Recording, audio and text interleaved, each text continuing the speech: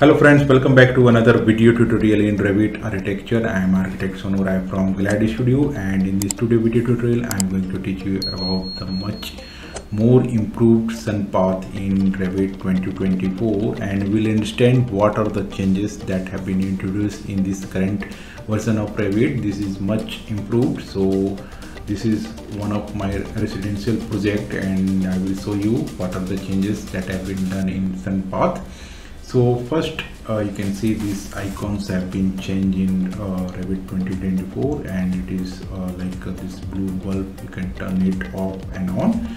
So first you can turn your sun path on here and if you select it like the previous version you will get this messages. So you can use your project location or you can continue with the current setting so i'm going to first select this one and you can see this is the 3d view and you can do a solar study in 3d view. And see this is much more improved and you can turn your shadow on here. And you can see this is much more improved here.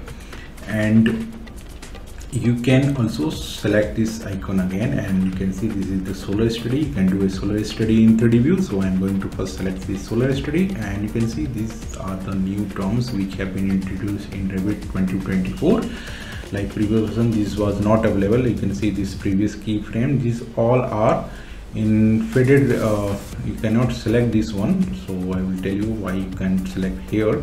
And you can see you can change the speed of your keyframe. You can do a short uh, animation here. You can see this is the sunlight intensity and you can increase or decrease your sunlight intensity. You can see the sunlight intensity.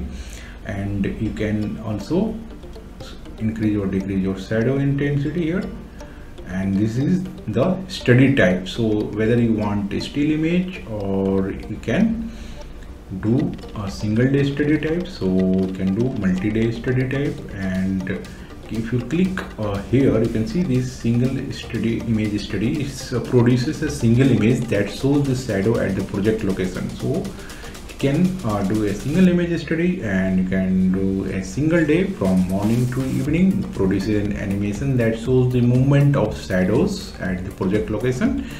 And you can do multi-day study and you can do lighting study type. So you can see it produces a single image that shows the shadows cast from the specified sun position. So uh, i'm going to first select this single day study type and you can see you can now select this next keyframe here and next key uh, frame next frame and next keyframe. And you can play your preview here. So I'm going to first play in my preview. You can see this is the short animation here. And you can also play in loop or play or stop animation in a loop. So you can see this is the animation is playing in loop. So now this is the speed. You can increase or decrease the speed here. And you can also increase or decrease the sun intensity here. And shadow intensity also you can select here. Now you can see this is the presets here. So this is in session single day. And you can also do one day solar study. So if you select one day solar study you can do this one day solar study here. And now if you play preview can see this is the one day solar study you can produce short animations in your architectural projects. So you can study about your project whether you you can do a climate responsive design in your project or not. You can place windows accordingly and sun shading whatever the climatic factors are there you can introduce by uh, using this sun path solar study. And you can stop this one. Now we can go to summer solstice study and you can play here play in loop. And you can change the speed here. You can increase or decrease the speed here. And you can also increase or decrease sun intensity.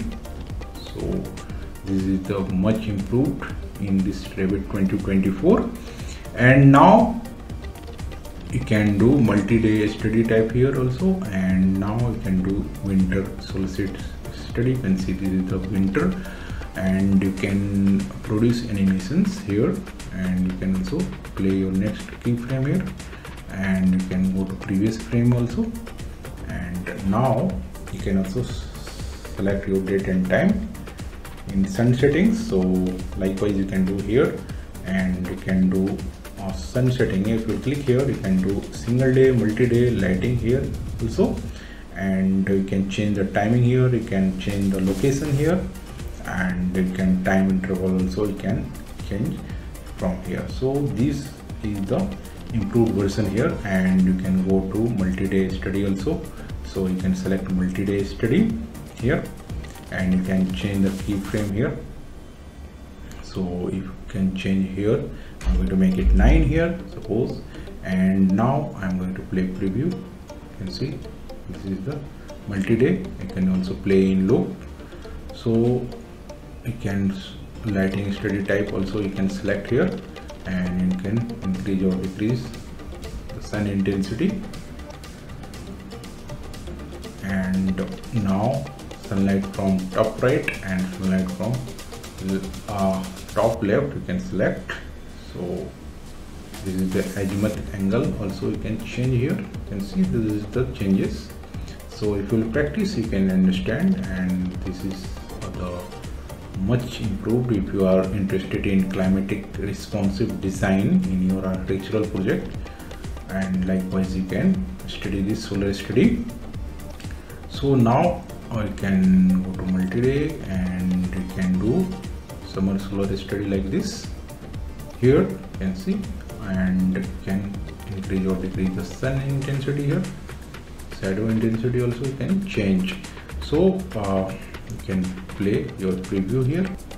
And after finishing your solar study you can go to file here and you can go to export and then you can scroll down here. And you can go to here image and animation and you can select here solar study and you can select your output length all frames and frame per second also you can do here. And you can change the dimensions and you can zoom to your actual size here what percent you want. So you can change also. I'm going to make it 70 percent and you can also make this 100 percent of actual size. And now uh, you can also check and uncheck. Include time and date stamp. You can check this and i'm going to click ok. And you can save to your uh, folder. So i'm going to save this. And now video compression. You can click here. And now it is getting rendered to your animations. And we'll check in some time I can see here processing view array animator and can see the frames 651 frames and 3940 42 is completed. You can wait for some times. So now we have finished our animation and we'll check in my folder. So I'm going to this play here and you can see our animation is done here and you can present in your architecture project. So this was the tutorial for the today's session. So thanks for watching. Bye bye